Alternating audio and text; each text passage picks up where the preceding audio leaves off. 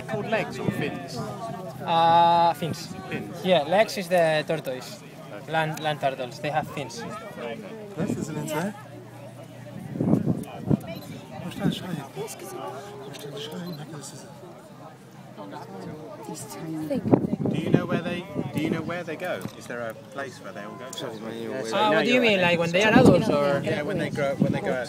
When they grow up, they well, we're gonna release them this night, um, and then they go. They sw- they just swim uh, like uh, for 24, 48 hours Wow. until they, they reach the big currents Okay. that bring them to the Caribbean to the center of the Atlantic.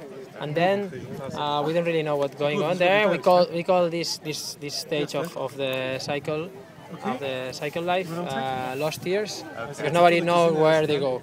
Uh, it's 15 years, and then uh, they appear again to the Azores. Um, um, um, oh, these islands. The Azu- the Uh. Canari- uh, Canarian, Azores, uh, Madeira, yeah. Yeah. Okay. Madeira, Madeira, sorry. And they appear there and they stay there for five years, the juvenile stage.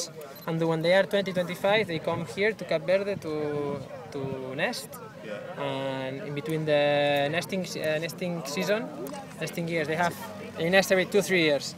So in between nesting years, they stay in the, in the west coast of Africa, in uh, Mauritania, Senegal. Uh, they stay there just feeding. Okay. So they only come here just to nest. Okay. Oh, okay. We have here a big